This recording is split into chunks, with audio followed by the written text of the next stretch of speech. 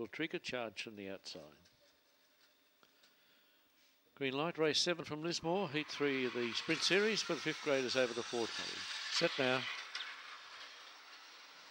John said this knock for me, not well away and in very heavy traffic early and driving across on the outside. Bazaar McKenzie will lead. Knock for me is right at the back now. Bazaar McKenzie will lead down the side. John said this and going forward, Open Tommy, followed by City Hoper. Long way back was Tranquil Trigger, safe to out wide. Would have been interaction. John, knock, uh, knock for me is there and so too was Charge, but getting right away is uh, Bazaar Mackenzie. But on the beat, John said this and Open Tommy, followed then by Tranquil Trigger.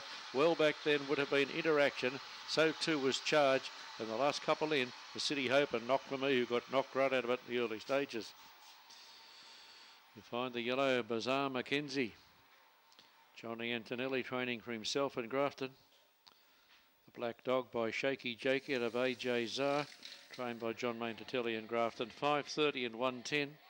Over one, John said this 163 open Tommy uh, 280 5, 1 and 3 they'll be.